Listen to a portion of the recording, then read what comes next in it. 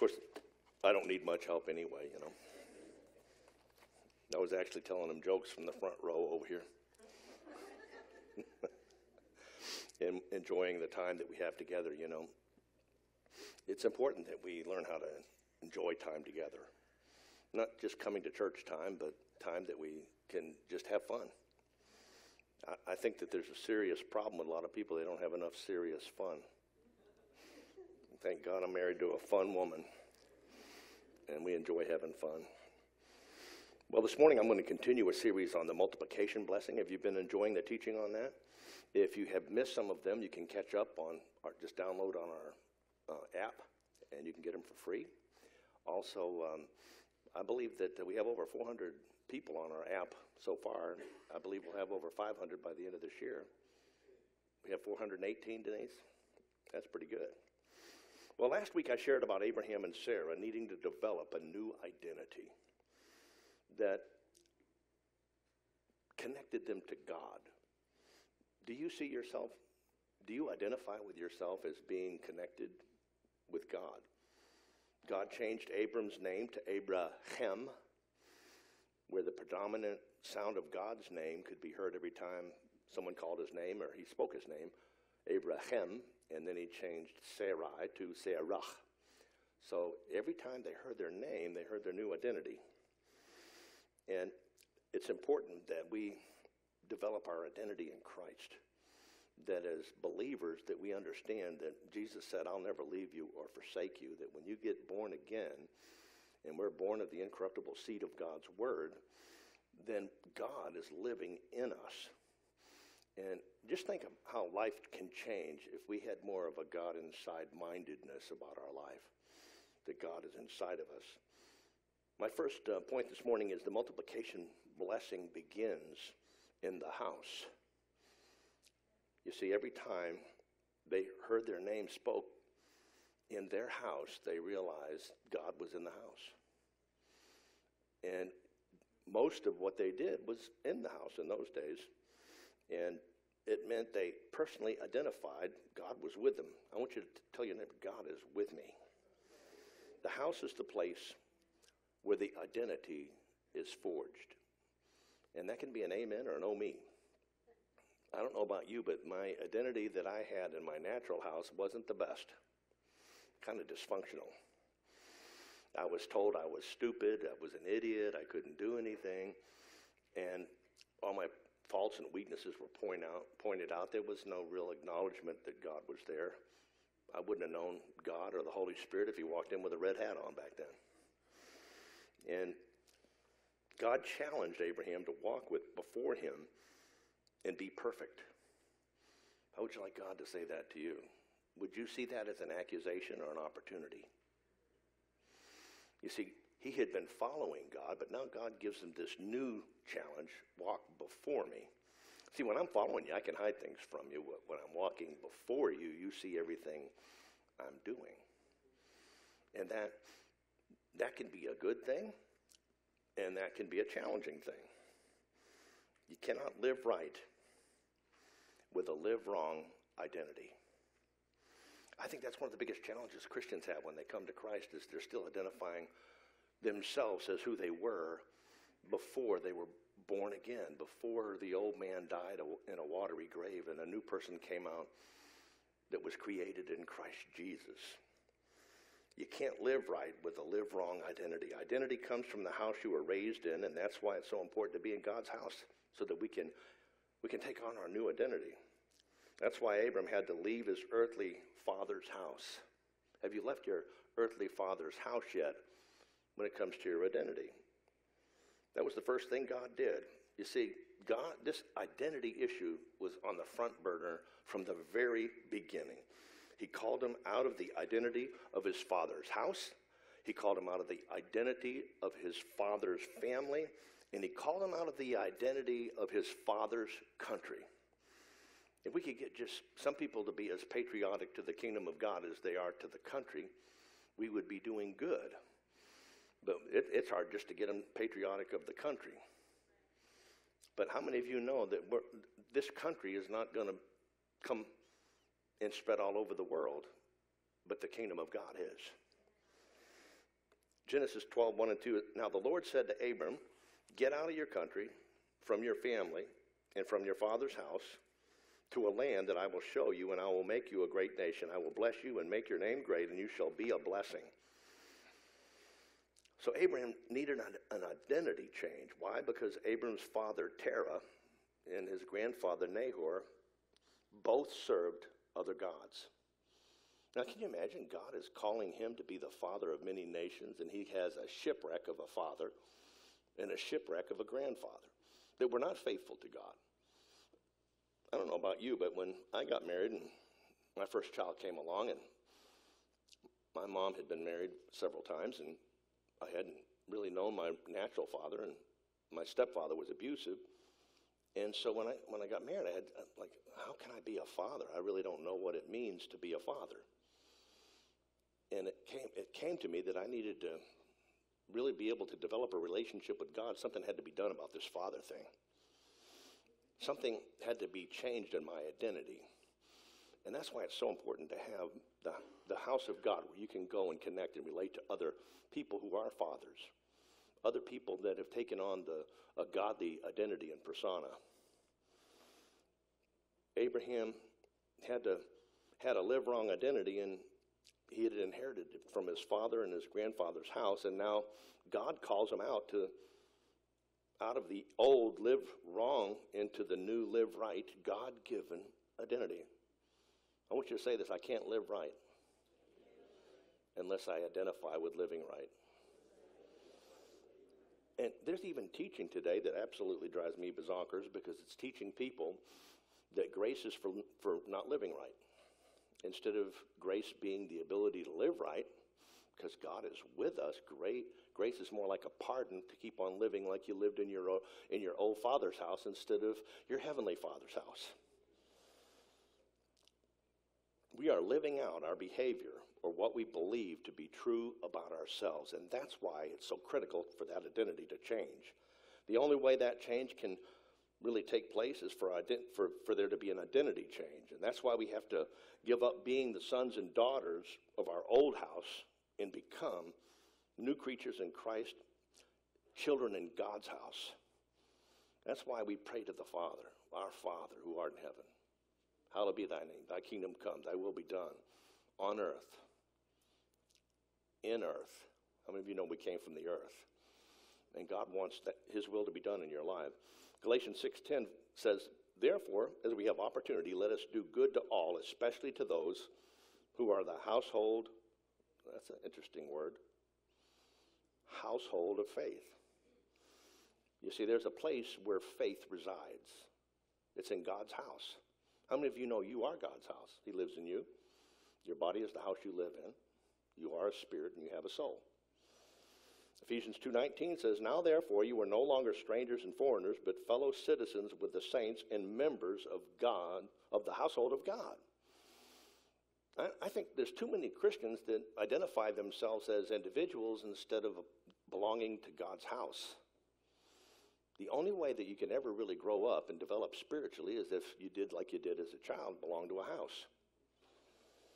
After the flood of Noah, God started over with mankind. And where did it begin? It began in God's house. Noah, God saved Noah in his house. When God saves, he saves through his house. We become members of his house and his family. I think that's one of the most important attributes in a church are the people their family. I can tell you for sure we are family because families have conflict they don't always share. They have to learn how to share. Look at someone and tell them, there's a lot of people that are still learning here. Yeah, you're looking at one of them. It, it really never ceases to amaze me when people say, I can't believe that. They say they did that and they say they're Christians. No, I don't know about you, but you must not have been in the house for very long. But Christians do dumb things don't we? Christians sin, don't we? But we, we made a decision not to live in sin. That's a big, that's a big difference. And in God's house, people that are living in sin and people that are not living in sin, they, they still come to God's house because if there's any hope of us being able to change our behavior, it is here in this place where we learn how to be family and how to be Christ like. It's not an automatic type of a thing. The Lord said to Noah, Come into the ark, you and your household, because I have seen that you are righteous before me in this generation. So, why did God choose Noah of all the people on the planet to start, restart the human race? And I'll tell you exactly why. His house was in order. There was hope for mankind when there's hope for people in a family who are living right, following God, doing what God wants them to do. It's so sad to see God's people have such little regard to his house and to his sons and their daughters. It's just all about them and Jesus. Well, I got news for you. It's not just you and Jesus. Tag, we're it. You see, we affect one another, and we're here to help one another. Matter of fact, the Bible says if we walk in the light and have fellowship one with another, the blood of Jesus cleanses us from all sin. Now, that, that would tell me that I can't get cleansed from all sin without your help. Then why do we get all upset when someone tries to help us? I don't know about you, but when, when in our house, when our we have three girls and a boy, so there's four women and two guys in the household. Now, you, you don't think there was ever any conflict, do you? I don't know if all three of the girls, I don't know if they ever all have got along at the same time. and, you know, they would get into conflicts, but in the single parent home that I came from, conflict would go on and on and on, and it would never be resolved. But when you're in a house where there's fathers in the house, then that conflict is confronted and dealt with and, and reconciled. And I think that's really important for us in God's house to realize that we can't let, that we're having communion today, we cannot let conflicts unresolved go on and on and on and become judgmental and critical with one another. As a matter of fact, the Bible says in in Corinthians that that's why some of the Christians were no longer alive. They died. They were judged now to escape judgment later. We can't take communion while we have hate in our heart for someone else, especially someone in God's house. I think it's so important in God's house that we have the liberty to be human and the humility to apologize at times when we are. It's so sad to see people that have no regard that how I'm relating with you affects other people. And that other people are learning to be just as dysfunctional as me when I won't be healthy and make things right when I get into conflict. You see, we have to realize how important the people in this house are. And mostly important are the little ones in the house because they're the ones that need to learn the most. The sons and daughters of God's house, if we don't really appreciate the children in this house, one day they may be our doctors, they may be our lawyers, they may be teachers of our children and grandchildren in school, or they may be they may be students that go into schools and shoot people because they didn't learn how to belong into a house where people were transformed and behavior was modeled and, and people saw that this, you, this is not how you treat people. With the homeschool movement in America, in some ways we've completely abandoned the public realm and now we wonder why we have such god awful things happening. And people are getting on the social media and talking about you know, they want to take your guns or they don't, they, they want to carry guns or they want to, and, and they want to get mad at the police, they want to get mad at NRA, they want to do everything but serve in children's ministry where lives are actually transformed and changed. They want to do everything except for model Christ likeness to their own kids. Nowadays, kids get in conflict with other kids and the parents jump on the bandwagon. And somewhere along the line, we have to say, hey, you know, the adults are supposed to uh, be the ones in the room that do something about the conflict instead of joining it. When I was a kid, if I got in trouble in school, when I went home, I got whooped. My, my parents didn't go down to school looking to give the teacher a whooping. But nowadays, that, that, that's the way things have become. And, and I think that the only real hope for the schools is for, their, for lights to shine.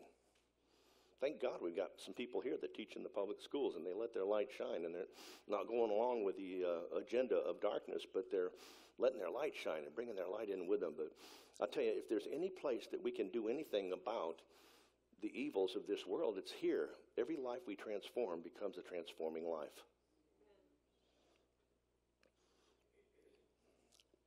You hear so many Christians that don't have time to train the sons and daughters in the house, but they have plenty of time to spend hours of their time on social media talking about all the bad things that are happening because they, people like them didn't take responsibility in the house to raise up the sons and daughters. Well, it's getting quiet in here, isn't it? The answer is an age old answer. Well, how can we stop this shooting going on in schools? I don't think that you can stop it. I think that's the wrong question. How can we prepare for it? But in the meantime, how can we change lives that would otherwise do things like that? I think we need to learn how to train up a child in the home, and we need to learn how to train up children in God's house. But Christ, as a son over his own house, whose house we are, if we hold fast the confidence and the rejoicing of hope firm until the end. How many of you remember 9 11?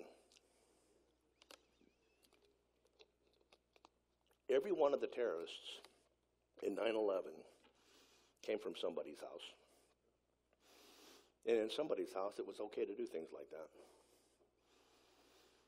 And I, I want you to understand something that that was a terribly difficult time for this country. And George W. Bush did a pretty good job of holding things together. And I know that a war was launched from that, but action was taken. It wasn't just ignored. What do you suppose that George Bush, the 43rd President of the United States from 2001 to 2009, what do you think he would do once he got out of office and he'd served, he couldn't serve anymore? He'd been the governor of Texas before that for many terms. Now, I, I, think if somebody that, that's handled that kind of situation, I think that when he gets out of office, whatever time he has left, he's probably going to put a premium on it and do what really matters. Let's take a look on this video and see what George W. Bush is doing.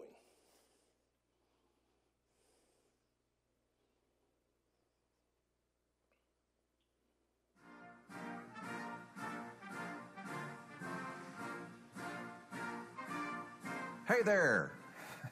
Yep, it's me, George. Now, before you get all distracted giggling over why I'm making an announcement at your church, listen closely. My fellow Christians, I have a very important announcement. Your church needs volunteers in the children's ministry.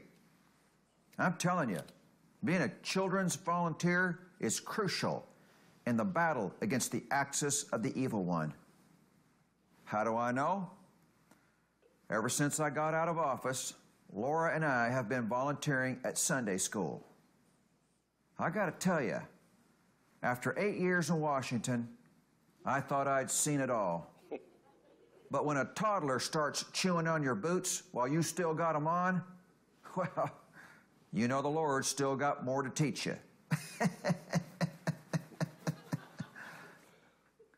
But no matter what crazy shenanigans they pull, I love these kids. I know some of you out there are scared of them, but I've got a secret. They're more afraid of you than you are of them. Actually, that's not always the case. Last Sunday, little Travis Mitchum nearly rallied the whole class against us. Whew. But we got him settled down. How do we do it? Goldfish and Cheerios.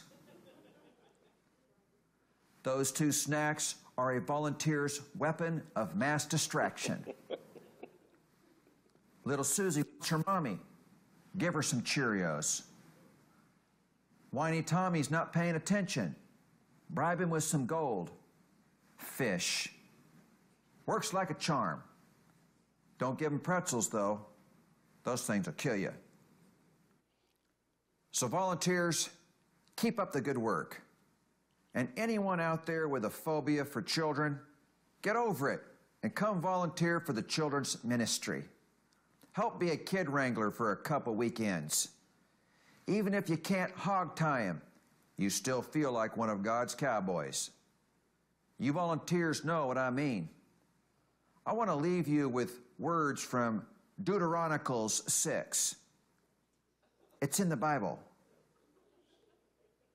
Hear, O Israel, the Lord our God, the Lord is one. Love the Lord your God with all your heart, and with all your soul, and with all your strength. These commandments that I give you today are to be upon your heart. Impress them on your children. Talk about them when you sit at home and when you walk along the road, when you lie down and when you get up. I think the message version would say, Love God because He's awesome and no child gets left behind. This is George W. Bush signing off. God bless the United States of America, and God bless all the children's ministry volunteers.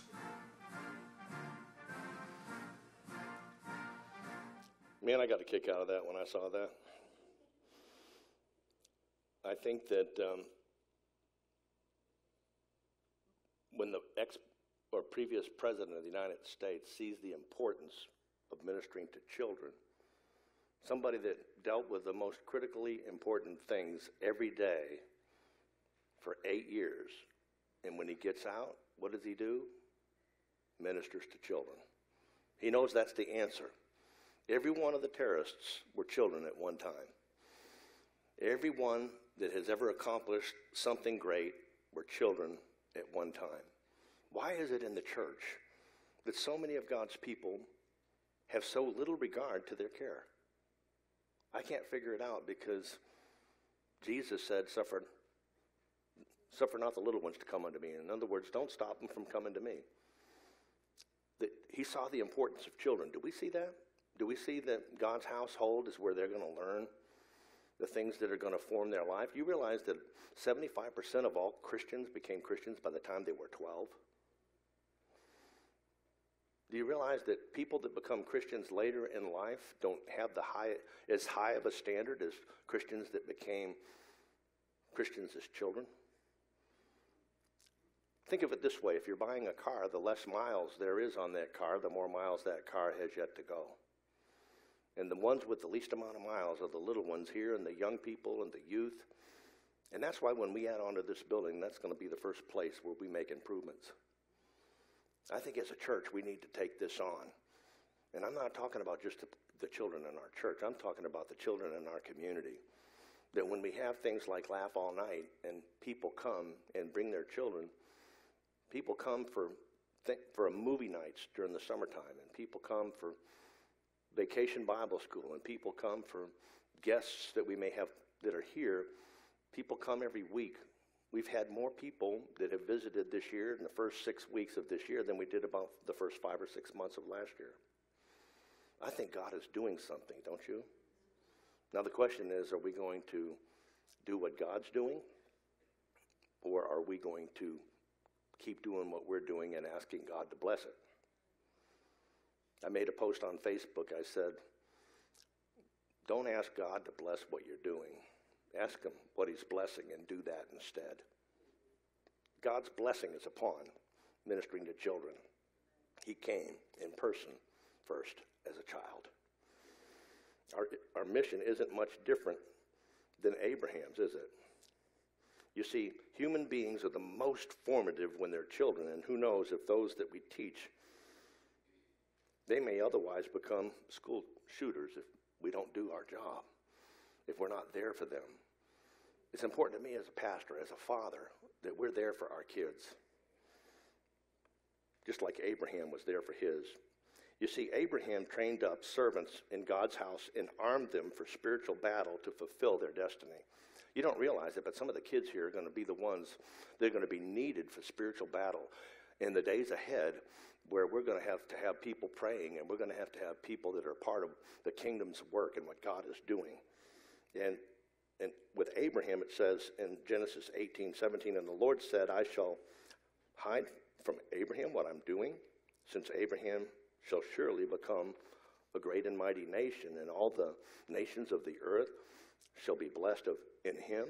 The King James says, Father. Why were 318 willing to go to war for Abraham? I'll tell you exactly why, because he was their father. They were born in his house. He wasn't their biological father, but he took on the responsibility of being the father in his house. You see, Abraham decided to rescue Lot and his family. He responded by mobilizing his house. Listen, if we're going to do what God's called us to do, then let's mobilize our house. Let's get people involved. Let's arm them. Let's make sure they're trained to do what God's called us to do. Abraham had 318 adopted sons as reference to born in his house who were trained or disciplined or discipled. Abraham fathered them before he fathered the child God promised him. Oh, I've got a ministry. God's called me to a ministry. Well, the first ministry is in the house, taking care of those that are in the house. You see, until Abraham practiced on the, those in his house, he never had an heir. In other words, he fathered others, other people's children before he fathered his own child that God would give him supernaturally. Isaac. God chose Abraham for one and one only reason. This was his qualification. He was a great father, but had no children. And he didn't have to have children if there were those in his house. He was going to be the father because that was in him. And so he had 318 sons, as referenced, that were born in his house, trained and, and, and, and disciplined or discipled. You see, there's only one other place where that word that we see trained is used in the scripture.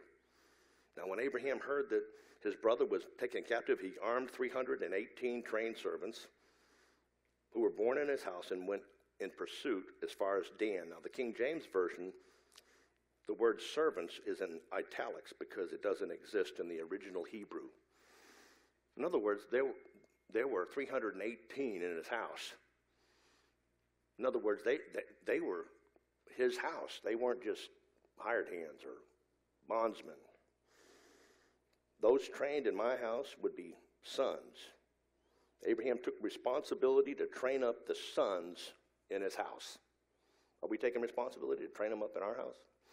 And of course, in the New Testament, there's no longer male or female, Jew or Greek, but we're all one in the Spirit. So we're all going to be sons of God, and we're all going to be the bride of Christ. I don't know how that works out, but that's the way God said it would be.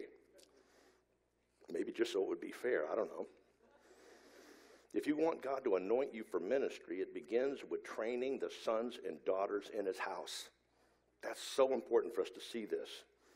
If Abraham hadn't been training the children of others born in his house, he never would have been able to conquer the enemy who abducted his nephew, the elder son of his father's house, Lot. He wouldn't have been ready for that. He would not have what he needed when the time came if he had not been a good father in his own house. I'm telling you right now that what God has ahead for us is going to be dependent upon what we are doing with those that he has brought here. Are we are they finding fathers in the house? Are they finding people that will help them and train them?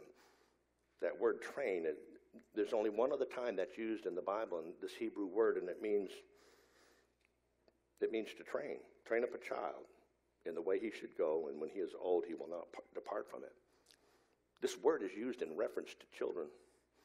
Now we know that those that were born in his house had to be children. So we see here that the, the priority and premium that Abraham put on those that were in his house. Listen, if we're going to have the multiplication blessing, God multiplies what we have. God multiplies what we, what we are. And that's why it was so important for changes to take place a thousand years before Solomon wrote this scripture, train up a child in the way that he should go, Abraham exemplified it with the 318 that were in his house. Eliezer of Damascus was the eldest servant born in Abraham's house. If Abraham did not have any children of his own, this guy would become the inheritor. But Abraham said, Lord God, what will you give me, seeing I go childless, and the heir of my house is Eliezer of Damascus. Now it's interesting that a lot of people can't figure out what this whole 318 means. But the numeric value of the name Eliezer, 318, actually means God's help or helper of God. Same help for Adam and Eve. She was a helpmeet for Adam. He actually is a type of the Holy Spirit. It's the same guy that I believe that later found a bride for Isaac. It just says that he was a servant, but most theologians and scholars think that it's this same guy. Can you see the prophetic picture here of Eliezer, the young brother, younger than Lot, because Lot was, was with Abram before any were born in his house, any other servants were there. And Lot was the older brother compared to them. And what do we see here? The younger brother chosen by God to redeem the older brother. God has chosen us to redeem those that he brings into this house. In Jesus' parable about the prodigal son, it's the younger brother that gets the redemption and brings it to the house. Jesus, the second or younger son, redeemed Adam, the first. The first son. The last shall be first. Jacob, the younger brother, received the blessing, and it was supposed to go to the older brother, Esau. We see this played out through Scripture. Like, God has a way of doing things that's different than the world does. The church received the blessing of the new covenant when the Jews rejected it, and they were under the old covenant, and now we are here to help reach the older brother with the gospel. They were grafted out that we, the younger brothers, could be grafted in, according to the Apostle Paul. They, the Jews, will be grafted back in, according to Scripture, and the younger will reach the older with the gospel. My last point this morning is the multiplication blessing is upon the house that transforms the community. You see, that's what Abraham was doing. He was transforming these young men into powerful servant leaders.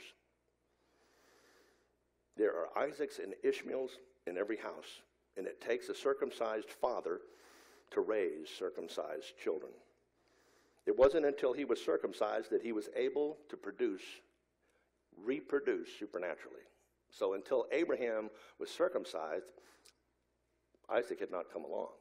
There was something about the cutting away of the unclean flesh that was necessary for God to do the supernatural.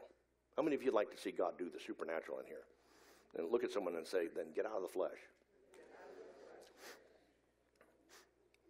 You see, a circumcised father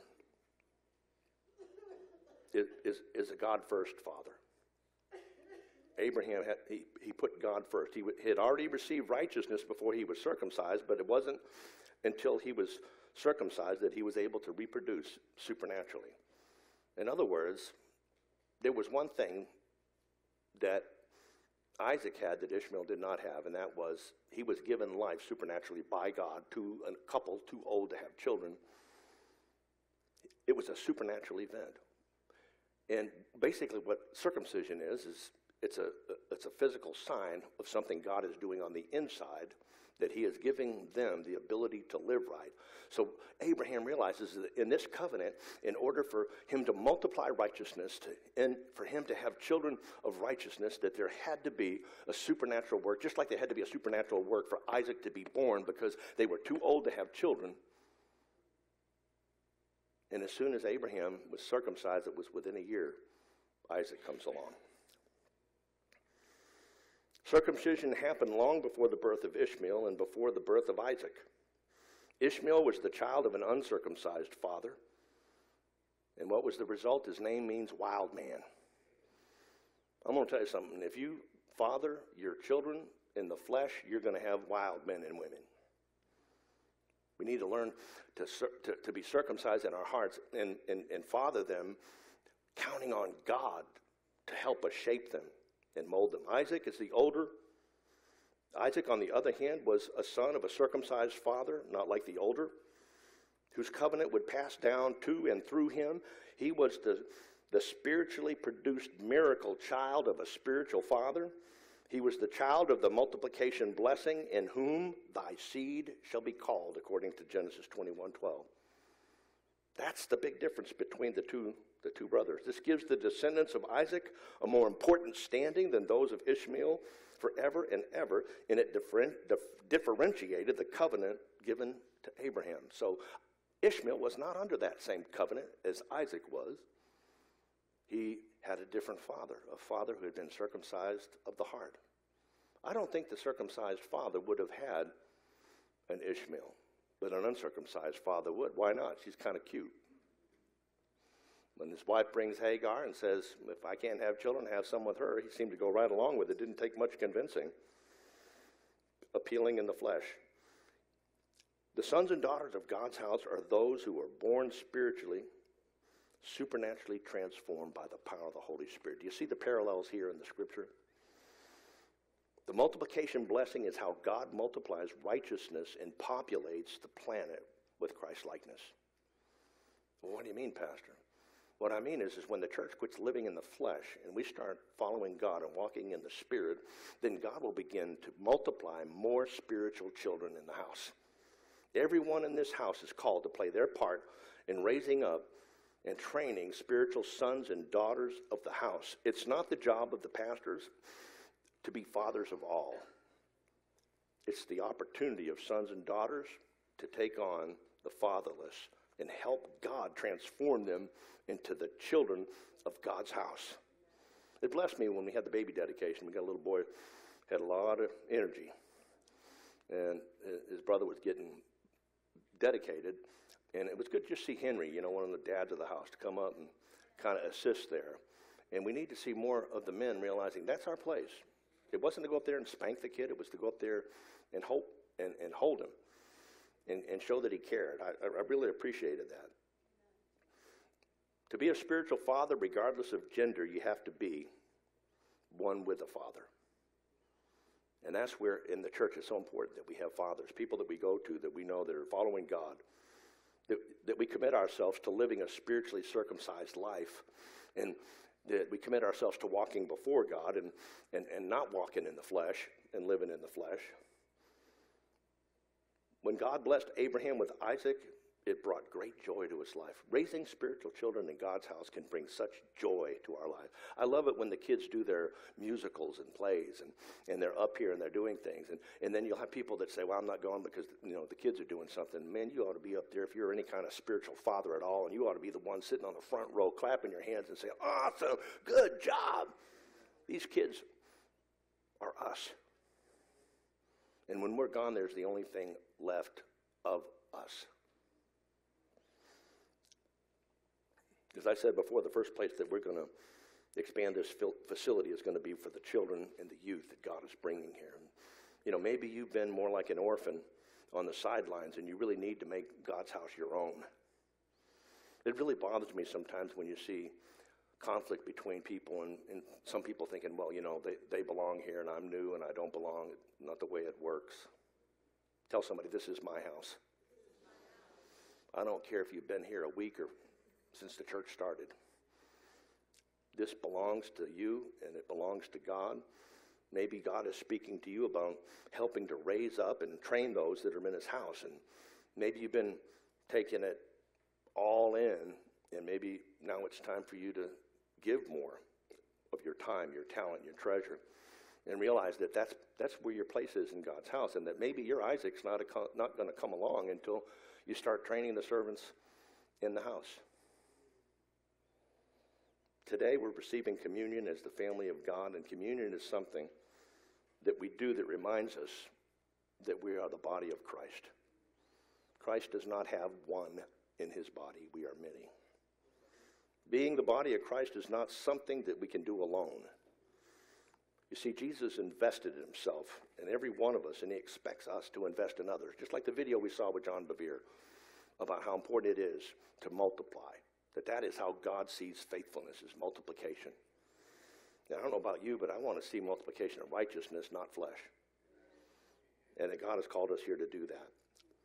As we examine our hearts today, I want to ask you to ask yourself a question Am I investing in those in the body of Christ? As I receive communion today, am I doing my part, not just in the body, but also with my family at home? the ones He's given me, and the family of God. If not, maybe it's time to commit to changing and, and moving forward. I just don't think that it's what God intends for us to come into God's house as children and stay that way. Somewhere along the line, we have to be fruitful and multiply. Somewhere along the line, we have to recognize we have something valuable to contribute in the lives of others, and God has called us to a place where that can happen. It's called God's house, the church. I'd like us to just bow our heads, and maybe you're here today and you say, you know what? I need to start identifying more with God being with me. God, help me change my identity. Help me to see I am a person that God is with. If that's you, would you slip, slip up your hand, Pastor, pray for me. God bless you. Maybe you're here today and you realize you're not really very invested in God's house. Maybe you're not really even connected to God's house. And God's saying, today I want you to make that commitment. I want you to connect, connect with my house, quit being an orphan, and be a son and, or daughter of the house. If that's you, would you pray for me, Pastor? I need to make that connection. That's so important. God bless you. Many hands going up. Maybe you're here today and, you, and God's speaking to you say, I want you to start investing your time, your talent, your treasure in my house so that I can multiply my people and transform this community. If that's you and you say, Pastor, I need, I need to do that. That you would just slip up your hand. Pastor, pray for me. I need to do that. God bless you. Many, many hands going up. Now let's pray this together. Heavenly Father, as I prepare right now to receive communion, I'm reminded we are the body. This is something we're doing together. Forgive me for not doing my part. Forgive me for living life like you're not with me. Come into my life. Help me to walk before you. Help me to circumcise the flesh. Die to the old life. I make a decision today. I'm leaving my father's house, my father's family, and my father's country and I'm making your house my house. Your family is my family. Your country is my country. Your country is a kingdom. Help me, Lord, to make a difference in your kingdom. Help me to be a multiply, a blessing. Help me to multiply the gifts and talents you've given to me through the lives of your little ones. In Jesus' mighty name. And everyone said, Amen. As we